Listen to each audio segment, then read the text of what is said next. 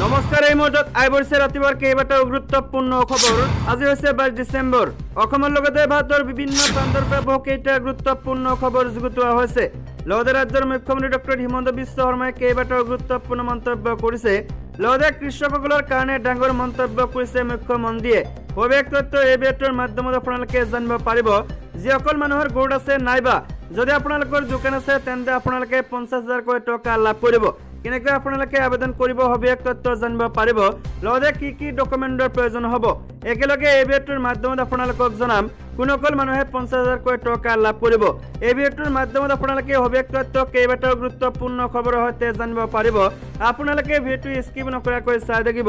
লগতে চেনেলটোত যদি নতুনকৈ আছে তেন্তে চেনেলটো ছাবস্ক্ৰাইব কৰাৰ লগতে ভিডিঅ'টোত এটা লাইক কৰি দিব। তেন্তে আহক বন্ধু বান্ধৱীসকল আজিৰ ভিডিঅ'টো নমস্কাৰ ৰাজ্যৰ প্ৰথম গুৰুত্বপূৰ্ণ খবৰটো হৈছে এটা ডাঙৰ গুৰুত্বপূৰ্ণ খবৰ। অখিলাস পালন কৰি লাভ নাই। পানীত থাকিলে ঘৰিয়ালৰ লগত থাকিবই লাগিব। আৰু এই গুৰুত্বপূৰ্ণ মন্তব্য কৰিছে প্ৰশান্ত ফুকনে। অখিল গগৈক সমালোচনা প্ৰশান্ত ফুকনৰ বিধানসভাৰ অধিৱেশন চলি থকাৰ সময়তে সদনৰ বাহিৰত প্ৰশান্ত ফুকনে সংবাদ মাধ্যমৰ আগত কয় যে অখিল গগৈয়ে সদনত দমবালি মাৰি লাভ নাই। সদনত দমবালি মাৰিলে জনপ্ৰিয়তা বৃদ্ধি নহয়। জনপ্ৰিয়তা বৃদ্ধি হ'ব সমষ্টিৰ উন্নয়নৰ জৰিয়তেহে। ডিঙিৰ শিৰ ফুলাই অখিল গগৈয়ে জনপ্ৰিয়তাৰ জনপ্ৰিয়তাৰ গ্ৰাফ ঊৰ্ধ কৰিব বিচাৰিলে লাভ নহ'ব। ফুকনে কয় যে দুদিন বহিষ্কাৰ হোৱাৰ ফলত অখিল গগৈৰ যথেষ্ট ক্ষতি হৈছে। সমষ্টিৰ যথেষ্ট ক্ষতি হৈছে। অগলা পালন কৰি লাভ নাই। পানীত থাকিলে গৰিয়ালৰ লগত মিতিৰালি কৰিবই লাগিব। বিৰোধীক ধমকি দিয়াক লৈ ফুকনে কয় যে বিৰোধীত থাকিলে কেতিয়াবা বেকা হৈ চলিব লাগিব। ময়ো বিৰোধীত থাকোঁতে বেকা হৈ চলিছিলো। এতিয়া ৰাজ্যৰ দ্বিতীয় গুৰুত্বপূৰ্ণ খবৰটো হৈছে ৰামদেৱৰ দিব্যা ফাৰ্মাচীকে ধৰি ভাৰতৰ ষোল্লটা ঔষধ কোম্পানী নেপালত ব্লেকলিষ্ট নেপালৰ ঔষধ নিয়ন্ত্ৰক কৰ্তৃপক্ষই যোগগুৰু ৰামদেৱৰ পতঞ্জলি সামগ্ৰী নিৰ্মাণ কৰা দিব্যা ফাৰ্মাচীকে ধৰি ষোল্লটা ভাৰতীয় ফাৰ্মাচিউটিকেল কোম্পানীকে ব্লেকলিষ্ট কৰে। লগতে কয় যে প্ৰতিষ্ঠানসমূহে বিশ্ব স্বাস্থ্য সংস্থাৰ ঔষধ নিৰ্মাণৰ মানদণ্ড পালন কৰাত ব্যৰ্থ হৈছে। নেপালত ওঠৰ ডিচেম্বৰত জাৰি কৰা এক জাননীত ঔষধ প্ৰশাসন বিভাগে এই ঔষধসমূহ যোগান ধৰা স্থানীয় এজেণ্টক সামগ্ৰীবোৰ প্ৰত্যাহাৰ কৰিবলৈ নিৰ্দেশ দিয়ে। জাননী অনুসৰি তালিকাভুক্ত কোম্পানীয়ে নিৰ্মাণ কৰা ঔষধ নেপালত বিতৰণ কৰিব নোৱাৰিব। উল্লেখযোগ্য যে এপ্ৰিল আৰু জুলাই মাহত ভাৰতলৈ এটা দল পঠিয়াইছিল যিয়ে নেপাললৈ ঔষধ যোগান ধৰা কোম্পানীবোৰৰ পৰীক্ষা কৰিছিল। বিভাগটোৱে ঊনৈছ ডিচেম্বৰ তাৰিখে জাৰি কৰা আন এখন জাননীত ভাৰতৰ গ্ল'বেল হেল্থ কেয়াৰৰ দ্বাৰা নিৰ্মিত পাঁচশো মিলি লিটাৰ আৰু পাঁচ লিটাৰ হেণ্ড চেনিটাইজাৰ প্ৰত্যাহাৰ কৰিবলৈ নিৰ্দেশ দিয়ে বিতৰকক এই সামগ্ৰীসমূহ বিক্ৰী নকৰাৰ বাবে তিনি নম্বৰ গুৰুত্বপূৰ্ণ খবৰটো হৈছে হিন্দু মুছলমানসকলে এৰিব লাগিব সত্ৰৰ ভূমি। আৰু এক গুৰুত্বপূৰ্ণ মন্তব্য কৰিছে মুখ্যমন্ত্ৰী হিমন্ত বিশ্ব শৰ্মাই। এইবাৰে মুখ্যমন্ত্ৰী হিমন্ত বিশ্ব শৰ্মাই অসম বিধানসভাৰ সদনত দৃঢ়তাৰে কয় যে বিজেপি বিজেপিয়ে ৰাজ্যখন চলাই থকালৈকে অসমৰ চৰকাৰী আৰু বনাঞ্চলৰ ভূমি বেদখল মুক্ত কৰাৰ বাবে উচ্চত অভিযান অব্যাহত থাকিব। অসম বিধানসভাৰ শীতকালীন অধিৱেশনৰ দ্বিতীয় দিনা শূন্যকালীন ঘণ্টাত কংগ্ৰেছৰ বিধায়ক কমলাক্ষাতে পুৰকাস্ত বিষয়টো আলোচনা কৰাৰ সময়ত মুখ্যমন্ত্ৰী শৰ্মাই কয় যে বিজেপি চৰকাৰে উচ্ছেদৰ অনুশীলন অব্যাহত ৰাখিব আৰু ইয়াৰ বিষয়ে কোৱাৰ কোনো অৰ্থ নাই। তেওঁ লগতে কয় যে বেদখল উচ্ছেদ এক অবিৰত প্ৰক্ৰিয়া আৰু ই বন্ধ নহয়। ভোটত লোৱাৰ লগতে ৰাজ্যজুৰি বনাঞ্চল আৰু চৰকাৰী ভূমি বেদখলমুক্ত কৰিব বিজেপি চৰকাৰে।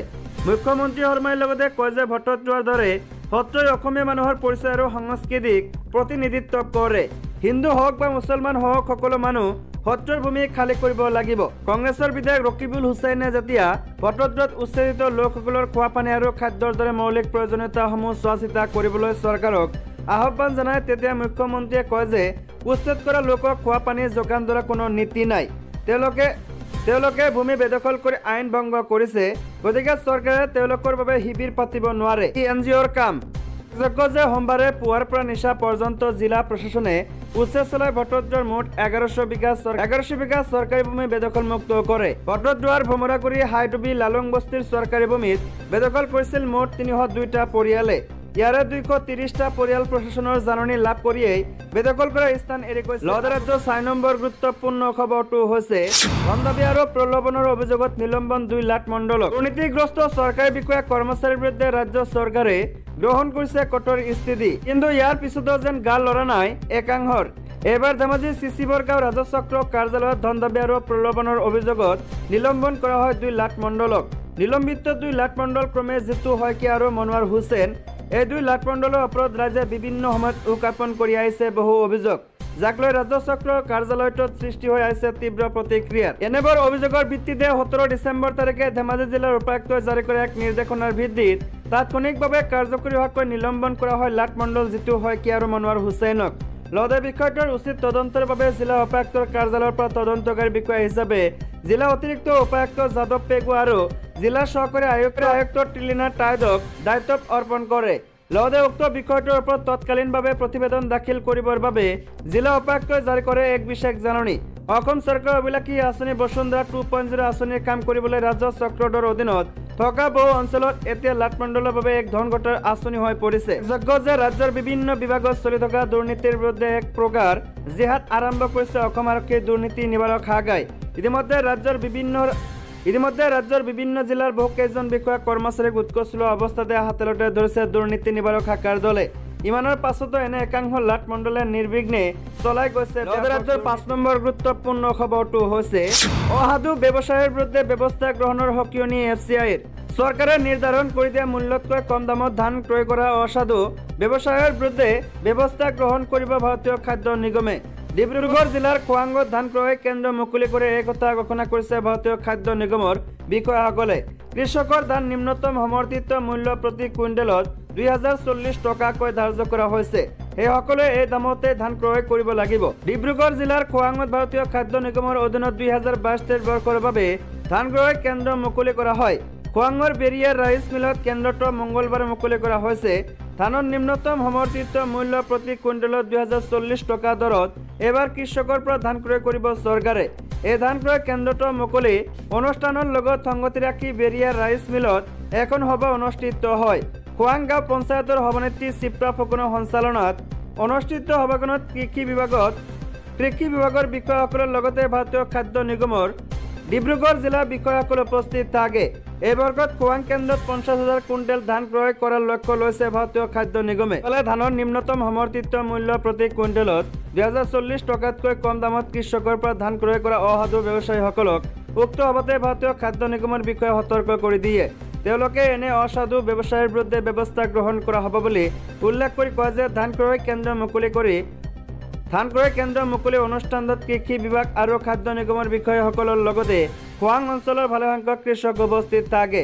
উল্লেখযোগ্য যে প্ৰত্যেক বছৰৰ নৱেম্বৰ, ডিচেম্বৰত কৃষকক উচিত মূল্য দিয়াৰ লক্ষ্যৰে খাৰিফ বিপণন বতৰৰ আৰু গ্ৰাহক সুৰক্ষা বিভাগে নিম্নতম সমৰ্থিত মূল্য ধান ক্ৰয়ৰ চৰকাৰী কাৰ্যসূচীৰ বাবে অধিসূচনা জাৰি কৰে।